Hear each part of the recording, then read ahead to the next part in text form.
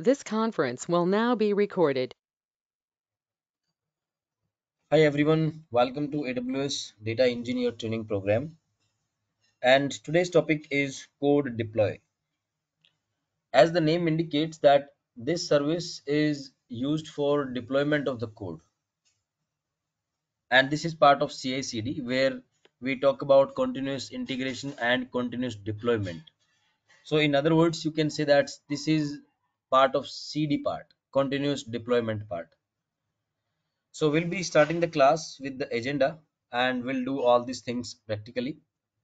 So overview of code deploy, create a lambda function alias, create lambda function version, create a code deploy application, create a deployment group, create a deployment, app spec configuration, deploy lambda function code and deployment status. So there are many things you don't need to remember all this stuff. We'll be doing all these things practically and then you will come across all this terminology like what do we mean by function alias? What is version? What is application? What is deployment group? What is app spec configuration? In yesterday's class when we were talking about code build project we talked about one file that was build spec Today we have app spec configuration. So we'll be exploring this in more detail. Okay, so let's start with the overview. So AWS Code Deploy automates application deployments to EC2 instance, AWS Fargate, and AWS Lambda. The code can be anywhere. Lambda is, we can say, one of the easiest way of executing your code. Because you don't have to worry about uh, setting up the server and all. You have a python code and you want to run it. So lambda is the best way. If your code is small and your execution time is uh, less than 15 minutes then you can go with lambda. But it's not always possible that execution time is less than 15 minutes right? Execution time depends upon your data depends upon your uh, you can say processing logic as well. So if you have huge amount of data and if your processing is also complex your processing time may go beyond 15 minutes. It may go for a few hours. In that case lambda is not uh, you can say cannot help you. You have to go with ec2 or you have to go with fargate.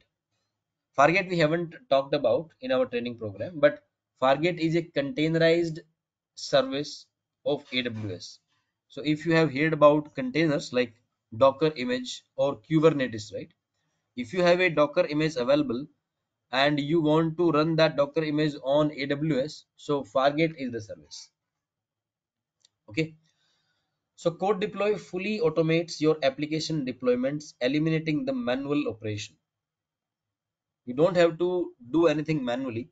Initially you have to tell like which lambda function you want to deploy and which version you want to deploy because you can create multiple version and accordingly we will be deploying that.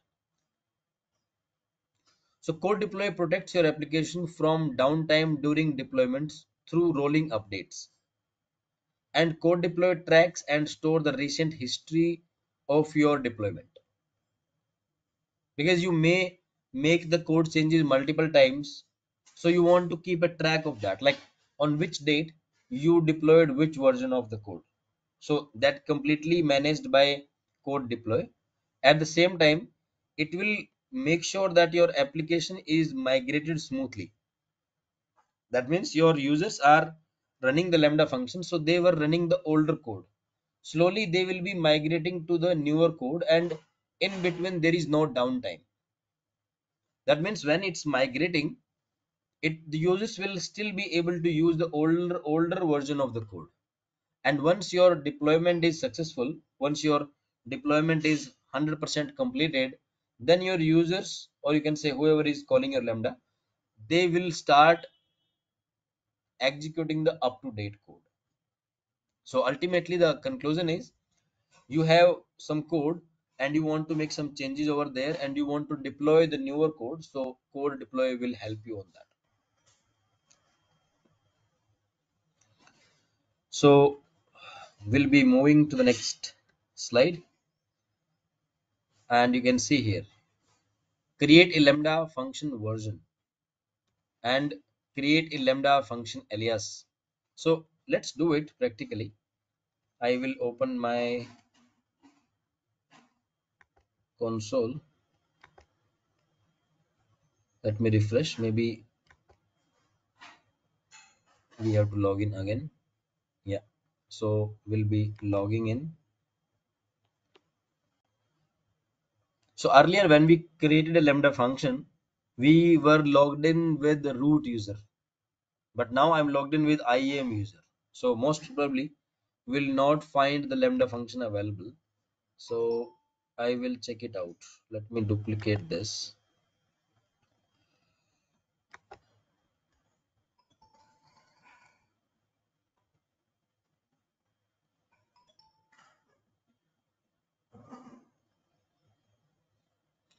okay first of all there is no permission for lambda.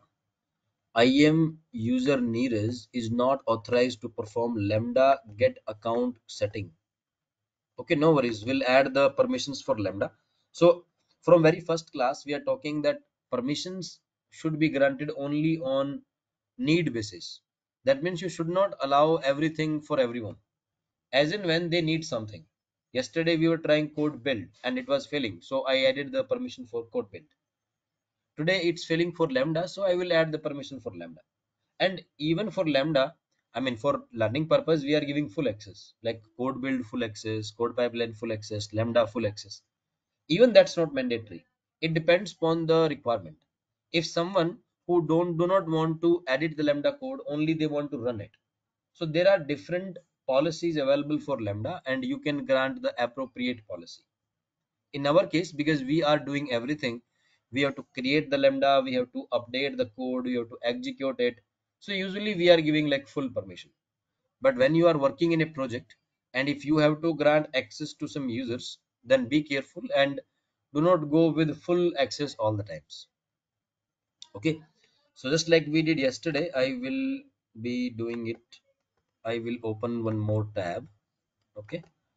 And aws console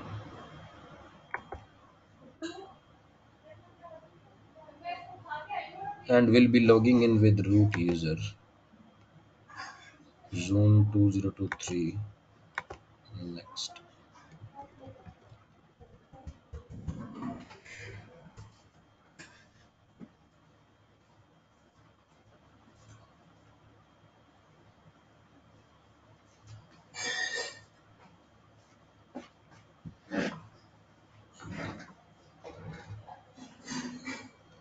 seven eight one three nine five.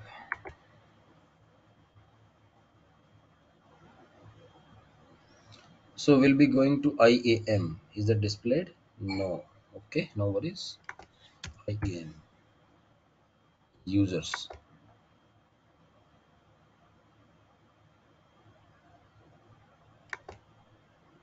So this user and then add permission. Add this one. Attach policy directly. Search for lambda.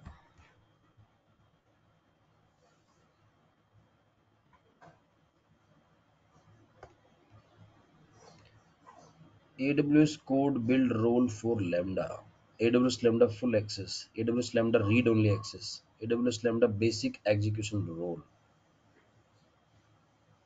Mm, Let's go with this. Okay, and next.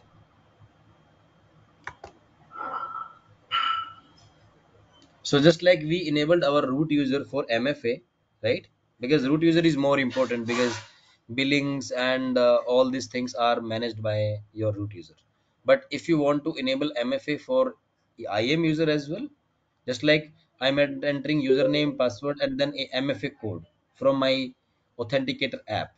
If you want to enable it for this particular user, you can even do that. Okay. So I'm coming back to my IAM user login. This one. Let me refresh the page. Okay. so you can see that my first lambda function code is available because earlier we did not have access now because we have granted access so we can see that. My first lambda function 18 days ago. And there should be some code over there.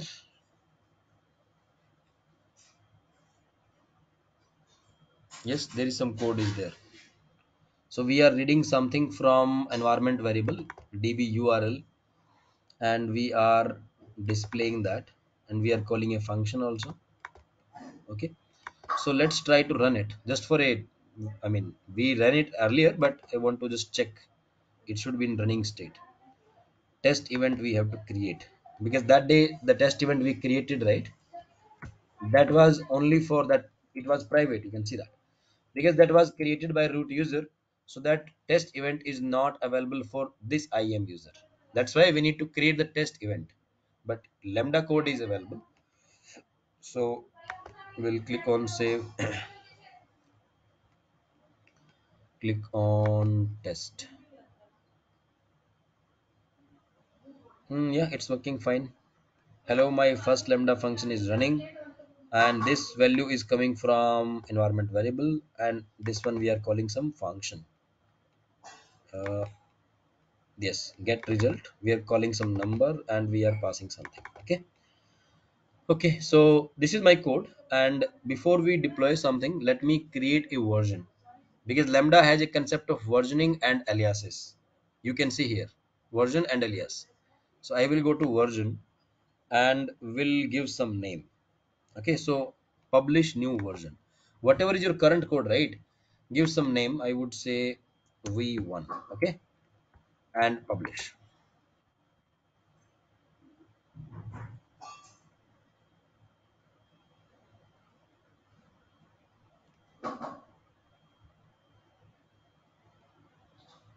and you can create alias also